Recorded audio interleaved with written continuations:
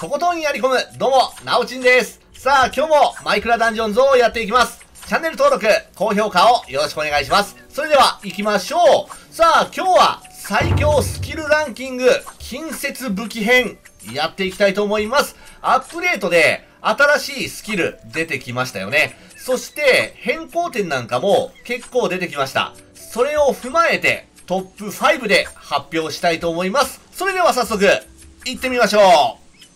このランキングには個人的な意見が入ります。ご了承ください。さあ、それでは最強スキルランキング近接武器編トップ5いきましょう。第5位。第5位のスキルは2つあります。これですね。まず、輝きです。そしてもう一つは、吸血ですね。まあ、二つとも回復系のスキルになります。まあ、どっちとも重要だよね。で、えー、これね、吸血は 9%HP を吸収します。レベル3だったらね。で、この輝きは実数回復します。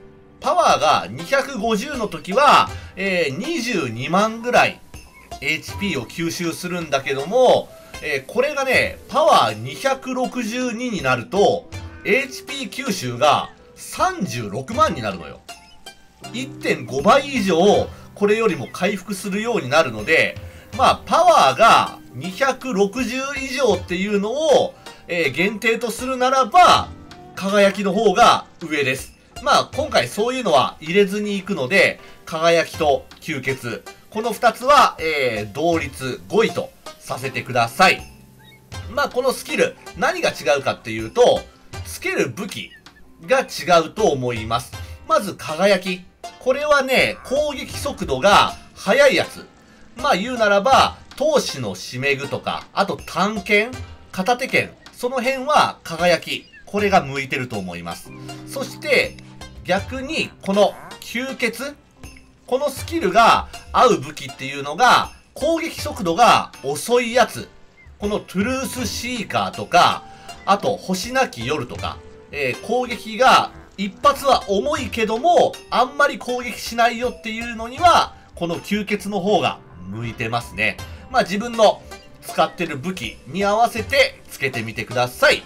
第5位は2つ。吸血、そして輝きでした。さあ、続いていきましょう。最強スキルランキングトップ5。第4位。第4位のスキルは、これですね。流れ込む魂です。えー、これなんだけども、武器だと、ソウル吸収系の武器にしかつきません。え、普通の武器には、このスキルはつかないので、注意してください。え、これもね、HP 吸収のスキルになります。HP を6%回復。レベル3でね。で、これのいいところが、この武器で倒したやつじゃないやつからも HP を吸収するっていうところなんだよね。えー、第5位の吸血、そして輝き。あれは、つけてる武器で攻撃をしないと適用されません。でも、この流れ込む魂は、えー、これじゃないやつで倒しても、魂を吸収さえしてしまえば、HP を回復する。なので、すごく使えます。まあ今、えー、ほとんどの人が最強と思ってる、カバンビルド。だよね。あの、カバンビルドで行くときには、この流れ込む魂っていうのが絶対に必要になるので、これは一つは持っとくことをお勧めします。まあ、できれば、えー、元々からソウル吸収2がついてるやつ、不滅のナイフとか、そういうのがおすすめです。つけてみてください。第4位は、流れ込む魂です。さあ、それでは、どんどん行きましょう。最強スキルランキング、近接武器編、第3位。第3位は、3つあります。これですね。クリティカルヒット。そして、追い打ち。で、もう一つ、雷です。えー、この3つとも火力スキルだね。で、この3つとも別に何の武器でも、えー、使っていけるのでいい感じです。もう武器を選ばない。どれにも入れても、えー、そこそこ強くなるのでおすすめです。で、その中でも、雷はね、ちょっと、うーん、性能的には上かなと思います。まあ確かに30%の確率ってそんなにね、高い確率ではないんですよ。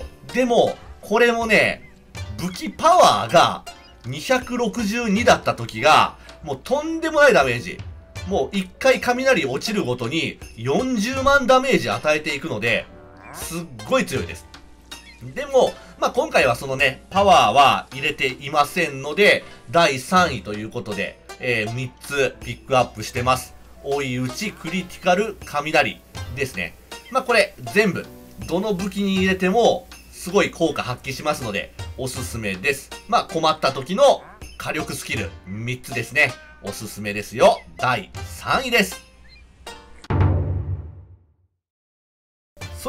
最強スキルランキング近接武器編第2位いっちゃいましょう。第2位は2つあります。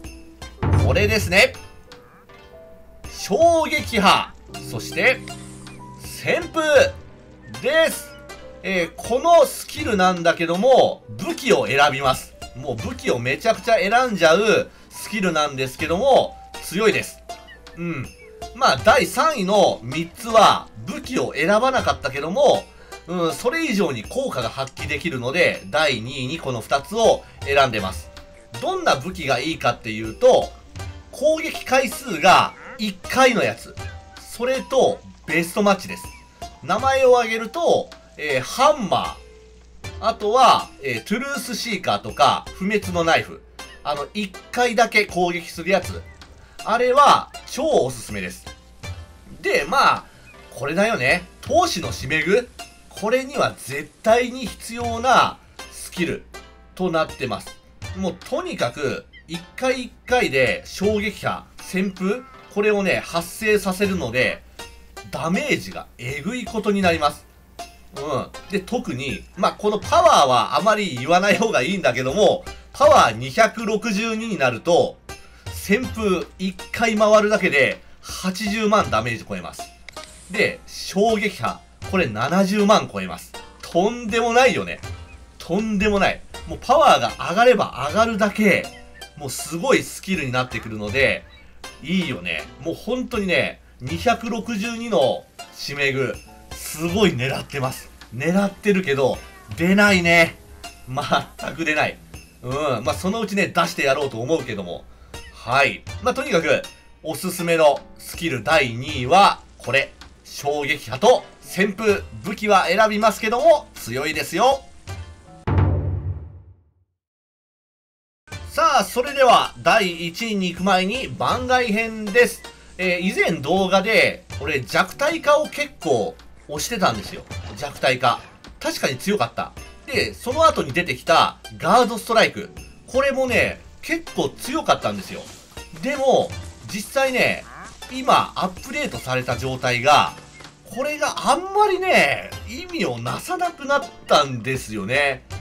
最大レベルのデイリーレベル3とかに行くと、もう死ぬ時ワンパンなんですよ。ワンパン。で、しかも、あの、帯電とか、やけどとかに、ビッてこう、一発パチって当たるだけで、即死しちゃうので、ほぼ意味がなくなったなっていうことで、今回、えー、ちょっとランキング外にさせてもらいました。さあ、それでは、最強スキルランキング第1位、いきましょう。第1位は、これですね。虚無の攻撃。えー、これ確か、ちょっと前まで、えー、名前が違ったんだよね。名前が違ったけども、虚無の攻撃っていうので落ち着いたスキルです。えー、効果がダメージ上数プラス600%。とんでもないんですよ。めちゃくちゃ強い。今までのスキル、えー、このね、600%とかを出そうには、あの、リスクがあったんだよね。こっちダメージを受けて、そして攻撃をするっていう感じだったんだけども、これリスク全くなしで600%出せるようになったので、これむちゃくちゃ強いです。で、しかも、どの武器にもマッチするので、このスキルが出ると、まあ、つけてください。間違いないです。うん、もうダントツにね、強くなっちゃったなっていう感じのスキルです。間違いありません。第1位は、虚無の攻撃ですね。はい。ということで、最強スキルランキング、近接武器編でした。またやっていくのでね、チェックをよろしくお願いします。そして、チャンネル登録と高評価もよろしくお願いします。それではご視聴ありがとうございました。